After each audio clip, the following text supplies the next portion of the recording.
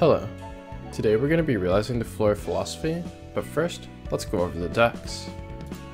I have Binah, and for passives, I put on Keeping Stride from Zwei, Fervor from Leo, Mind Hauler from Valerie or Anton, and I have Death Enervation from Eugen.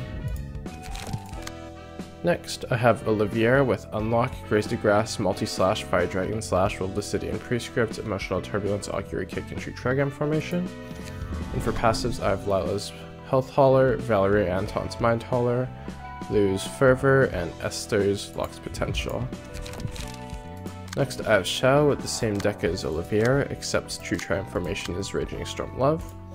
For passives, I have Unstable Page of the Crying Children's Volatile Passion, Gloria's Locked Potential, Anton and Valerie's Mind Hauler, and Lila's Health Hauler. Next, I have Purple Tear, and we'll be utilizing the Guard Stance, which is Ominous Power, 2 Leap, 2 Energy Conversion, 3 Overcharge, and Beyond. and for passes, I have Bada's Charge Shield and Energy Discharge, uh, Arcorp's Triple R Suit, Lila's Health Hauler, and Anton or Valerie's Mind Hauler. Finally, I have Yan, with a very similar deck to Xiao and Olivier, except their unique Page and Augury Kick have been replaced with Baleful Brand and Distorted Blade. For passives, Locked Potential, this one's from Hubert, I have Nikolai's Finishing Touch, and then Lila's Health Hauler and Valeria Anton's Mind Hauler. Alright, let's get into the fight. Alrighty. So, in this first phase, we'll be playing against a lamp. And right off the bat, you'll notice that one of your librarians is enchanted. Um, so they're uncontrollable and will be casting Dazzled, targeting Lamp, who will be casting Salvation, which has a 25 to 25 slash counter die that instantly kills enchanted targets on hit, and a 20 to 20 block counter die, and they'll also be casting some copies of Brood, which has three 22 to 22 block counter dice. So the intended way to do it is to use your Light Regen and other utility to clash into your own Librarian. But since we have Binah, we have access to ranged pages, which can be used to eat the slash die. And we actually don't mind if our character gets staggered here because they'll immediately get unstaggered. So with these enchanted targets, it'll start with just one, but on the next cycle will be two, and then two again, and then three. And then the um, phases go in like three or four scene chunks where first couple scenes it'll just be the Salvation and Brood, but on the third scene, um, Lamp will be casting Darkness, which is a mass attack that we'll see later, and every time an ally dies, uh, they get permanent Feeble and Disarm, Lamp that is, and when all allies die, the stay resistance is changed to Fatal. So, that leads us to believe that we're supposed to kill all these eyeball chicks, so let's talk about them now. They're Pierce, Stagger Weak, slash Normal, and Blunt Injured. so we're going to try and focus on their uh, Pierce. And so for pages, they have Intense Stare, which is a 7 to 7 Pierce and a 3 to 8 Evade. The Pierce forces the character that it hits to attack the that character. Uh, so for example, this eyeball check is casting it, and it's hitting the end, so if it hit the end, yeah, it would only be able to hit this one. Um, unless of course the target is enchanted, in which they'll still be targeting Lamp. For this one, if you get hit, it's not the end of the world most of the time, but it's still like somewhat annoying because it restricts your choices, so try to beat it but it's not the most, impo uh, most important one. Nip, 45, 45, 35, all pierce. So not very strong, but if it's attacking someone with a lower speed value, all the dice get 3 power. So your best bet is to redirect it to something with a higher speed value if it's targeting something with lower. Will of the Prescript works quite well here because it doesn't really clash well normally, but it can clash quite well into this one. Ocular Stab, in my opinion, their most threatening page, a 4 to 7 pierce and then a 6 to 10 pierce that inflicts 4 bind. 6 to 10 on 2 is kind of hard to beat, but we have a few options. Maybe not right now, but normally we have a few options in order to uh, beat that. But if you do get hit, again, not the end of the world. Their last page, Clumsy Jog, 3 to 8 evade, 3 to 7 evade, and on Clash Lose, uh, gives some self-bind. So this one you don't need to worry about at all, but just keep in mind that they'll have it hanging for when you free hit them. So we're just going to try and take out these uh, eyeball chicks, and then after that we can go into the darkness phase, and after that we should be able to kill.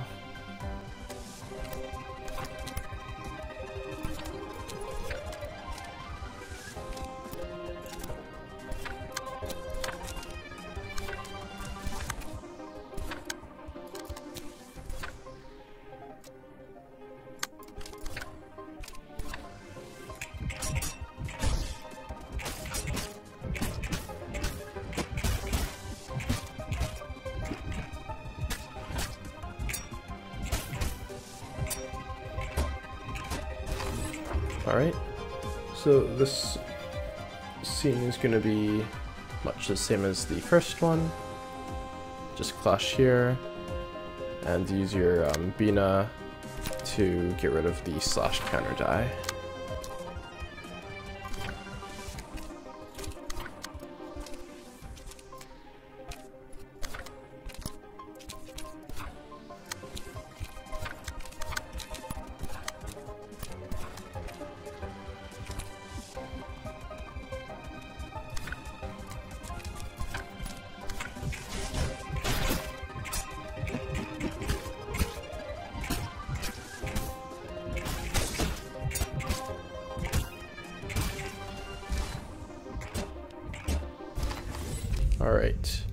For abnormality pages, we're going to take Weight of Sin and put it on Olivier because it synergizes really well with the 12 fixers.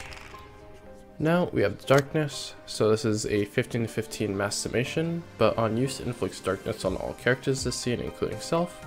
Darkness is just a power null and it'll last for two scenes, and it'll be casting two copies of Bite Off, which is um, 25 to 25 slash counter and so each page has two, and so with two he has four total. So here we're just going to clash into the mass attack and then kill the last bird. And then we'll be power nulled for one more scene and we'll have two enchanted targets, but as long as we have our Binah, we should be good.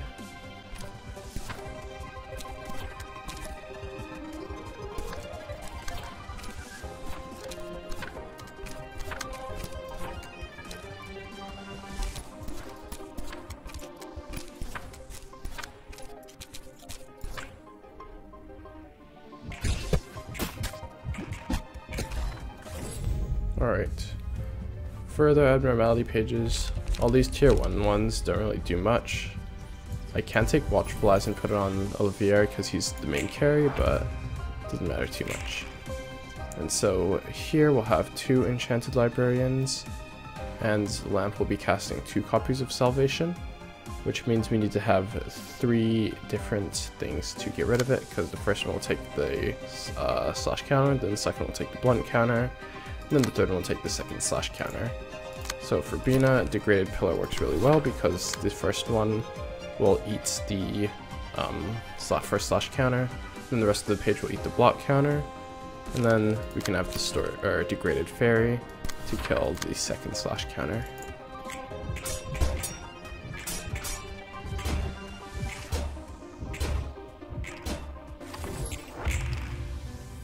Alright, and now we can kill Lamp. These rolls again might look threatening at first, but with 20 Feeble and Disarm, this 25 is going to roll 5, which is not too hard to beat.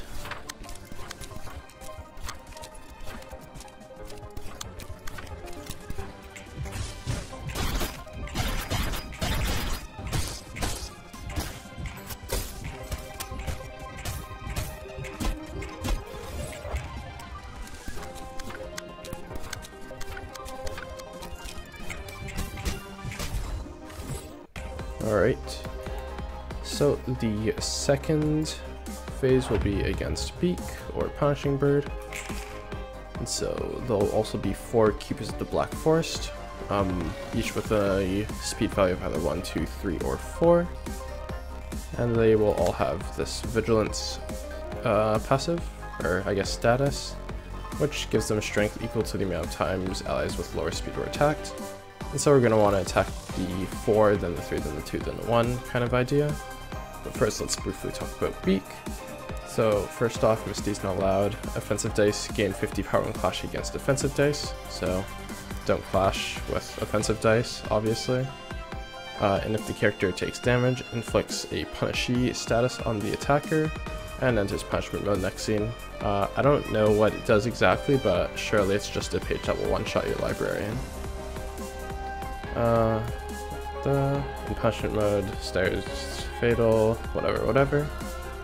So, um, we'll start off by casting three copies of Preen, which has two 33 blunt dice, and then a 3 to 3 blunt counter die which means you can't just free hit the cheese because of the um, blunt counter die, unless you can deal with them with like some block dice first, which could work, but not what we're to do here.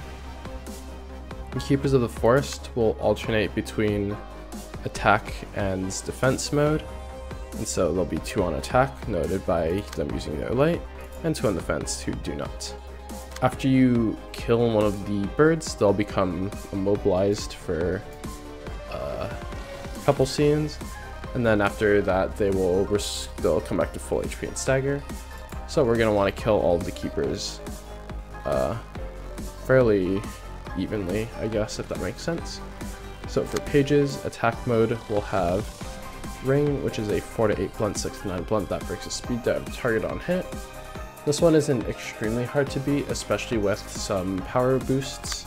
True Transformation does good, um, Motional Turbulence does fine at this stage in the game. Uh, let's see, next we have Whiffle, which is a 3 to 8 pierce and a 3 to 6 block. Sorry. This one is very easy to beat, you can also just ignore it. And then Pinioning, I think, is a 6 to 8 blunt, 5 to 8 blunt, 3 to 7 blunt, and all of them inflict inflicted paralysis and binds next scene. So this one's the most threatening one but it's still not too hard to beat. Another Whiffle, and then for defense mode, they'll be casting Roost, which is just a bunch of 3 to 6 uh, block dice. And so what we're going to do is we're going to use our Binah to clash into um, the 4-speed one, because she has ranged pages. And then it doesn't matter what we do after that, although I guess it would probably technically be best to um, Clash into the other attack mode bird next with our sevens. But it shouldn't matter too much because we don't really need to attack the defense birds right now.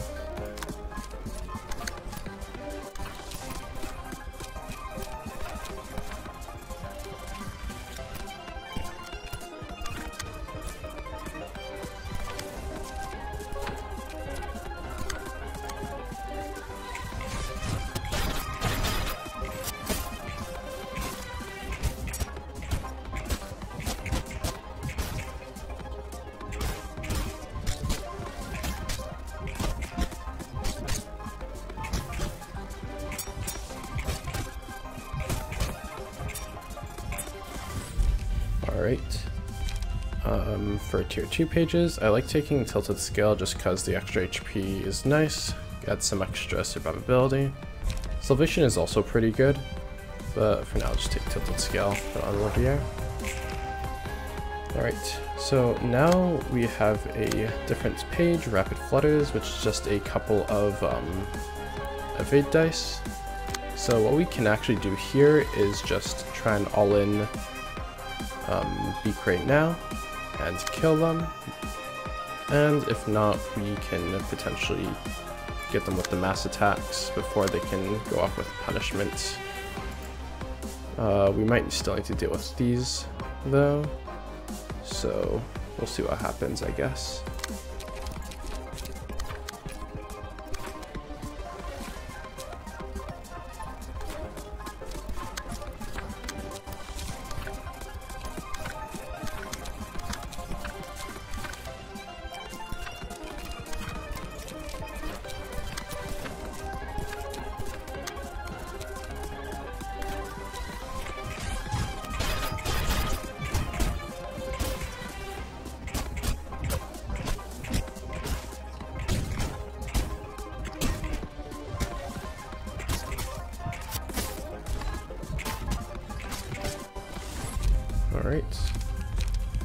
So here I think I'll just... Actually I'll take punishments. Let's try it out. Next we'll have Judgment Bird. Let's just get this out of the way. And so let's see. Judgment Bird takes no damage from uh, Bleed Burner Fairy. Has some marks of sin, that's for the sin mechanic. Uh, whatever, whatever. Doesn't particularly matter because we're gonna cheese it. So 4 piece, 7 to 9, 6 to 8, 5 to 7, all slash, and the first two die gave haste. This one is fairly hard to beat with uh, your like two cost and stuff, but with three cost bombs like Emotional Turbulence, True Transformation, the like, should not be unmanageable. Next, Unjust Scale, 5 to 8 slash 8 to 10 blunt that inflicts paralysis next scene. This one, not too hard to beat, notably this one's going at one of the birds. But if it was, then 8 to 10 is like kind of hard, but again, one paralysis is not extremely threatening to you, so you can just tank it or mitigate it or whatever, but with some strength stacking, you should be able to beat it handily as well. Justice Astray, 6 to 10, 6 to 10 blocking, then a 48 slash. This page is not threatening to your health, but it is fairly hard to clash into with those two 6 to 10 blocks, and another Justice Astray. And then all the birds will be casting Terrified Flutter, which is 3 4 to 6 slash dice that inflict 1 fragile on hit next scene. So what we're going to do is we're going to be casting a couple of mass attacks here. I don't think I have enough light here, so maybe we won't be able to do the cheese. We'll see. But the main idea is um, Taotie plus Distorted Blade immediately staggers all the birds, and then you can also just kill just a CN1. Seeing cause 100 stagger is not quite, uh, it's not quite enough with only 300 HP. But we might not be able to do that, but I'm still gonna try. Let's test it out, I guess.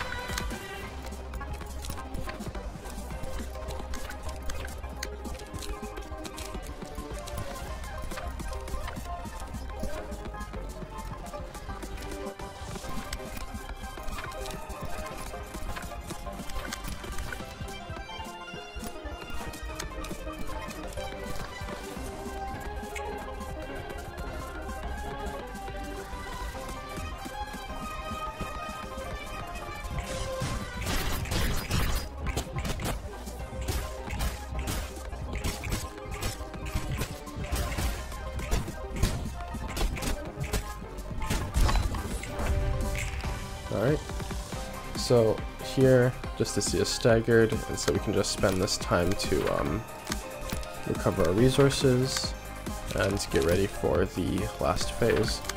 Notably, you don't need to get any strength or anything because you will be power nulled at the start of it.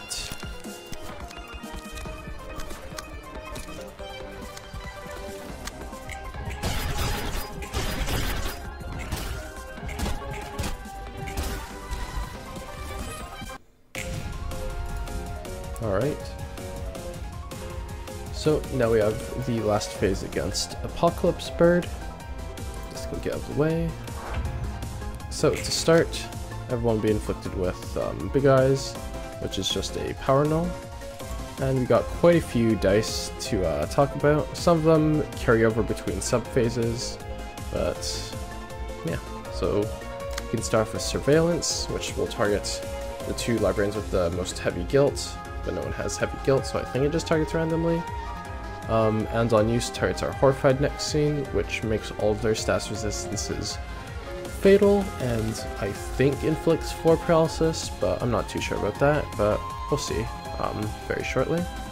Next, the one hard part about this realization, in my opinion, Brilliant Eyes, uh, mass individual with 3, 4 to 7 pierce but the first two will make you lose one light on hit. So not getting hit by this is probably one of the most important parts of the realization. Um, if you bring Blind Faith, you can beat it pretty easily. Uh, it's double good because this phase is weak to Slash, but that page is pretty useless outside of this specific scene. and I like all the pages in my decks right now, so I didn't, but if you're struggling with this part right here, then definitely a strong consideration. Next, we got Light Illuminating the Forest, 7 to 10 Pierce on a ranged page that on hit inflicts a Bind and Paralysis, and if a target is defeated with this page, it gets replayed. So we got two of those, and then Slam Down, this is a shared page, which is a 3 to 8 block that 3-6 blunt. Another Slam Down, and then we got Prowl, I think this one's also shared, which is 3 to 8 block, 6 to 9 block that recovers some HP on Clash Win, and then a 5 to 7 slash counter that gains a strength on Clash Win. So main thing, again, beat Brilliant Eyes, and then just Clash is normal for everything else. And yeah, you'll still be the next scene, so you don't need to start strength stacking just yet.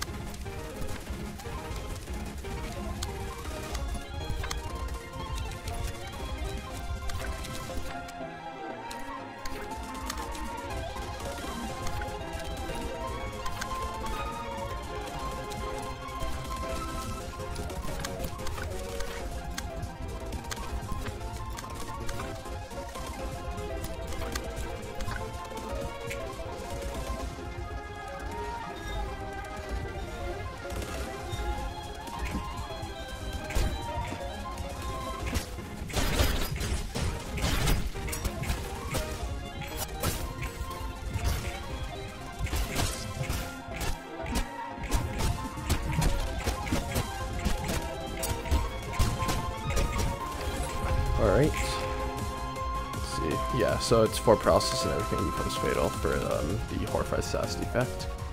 So now we got Peace for All, which is a 18 to 18 mass summation. And again, you're power nulled here, so be careful of that.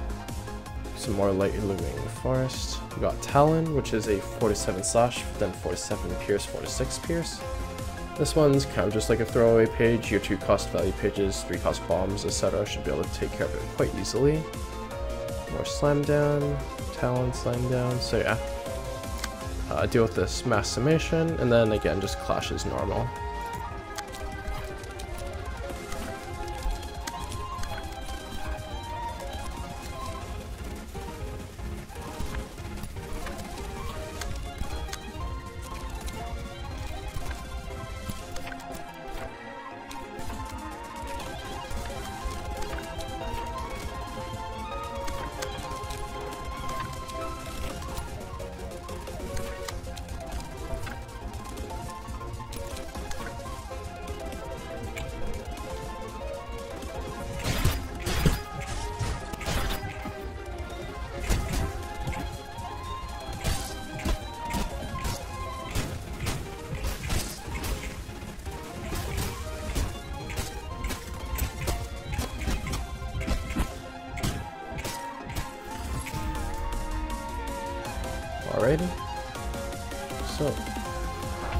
Now we have Small Beak, which will increase the cost of two random pages in all of our hands by one.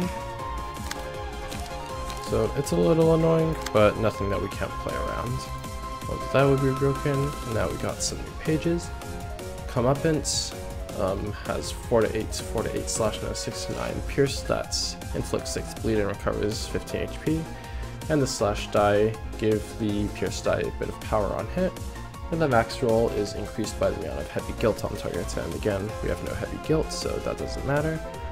This one isn't too hard to beat, but you need to clash into it, because getting extra power on the pierce and then 6 bleed and recovering 15 HP is a little bit annoying. Next, we got Torn Mouth, 4 to 8, 4 to 8, 4 to 7 all slash, that inflicts 2 bleed, this one, again, is just kind of not too difficult to beat with uh, 3 cost bombs and even your 2 cost value pages, which is good. More Torn Mouth, more Slam Down, more Talon. As note that now it's Blunt Weak, and so, again, just Clash as you normally would, and there isn't anything too difficult here.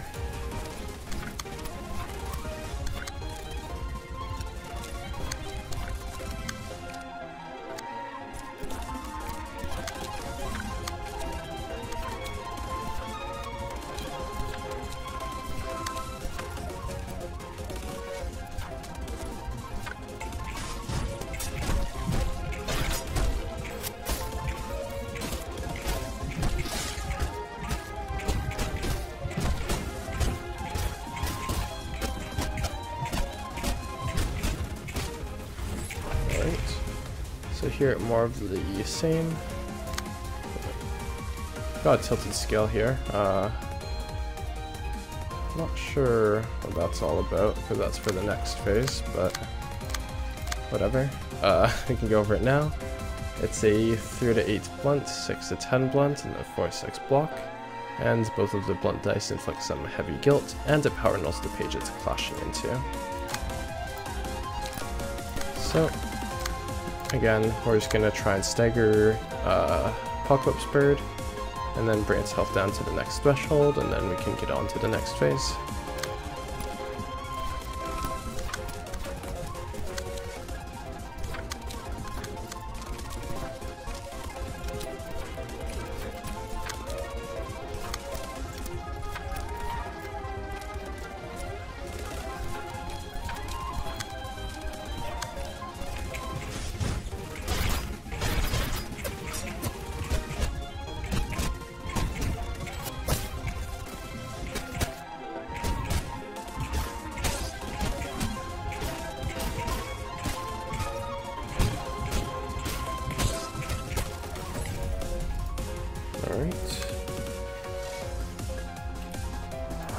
So now we can get into Judgment Bird. So, um, Long Arms will give status defect immunity and will purge all status ailments. It does unfortunately mean that um, our Volatile Passion will not work as effectively, but that's fine. So let's see, we got Talon, Tilted Scale, which we already went over, Prowl, Talon, Slam Down. So, again, we're just gonna, like, Clash is normal.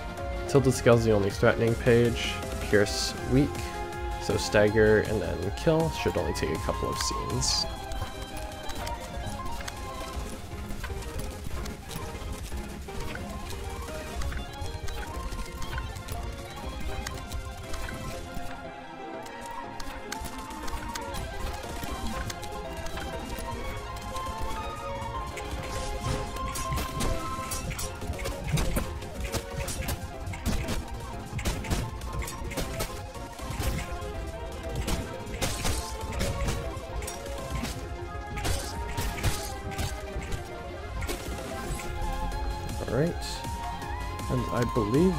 Actually the end of the fight. Nope, we got one more scene. So, we got nothing we haven't seen before. And we can just kill here, and then the fight shall be over.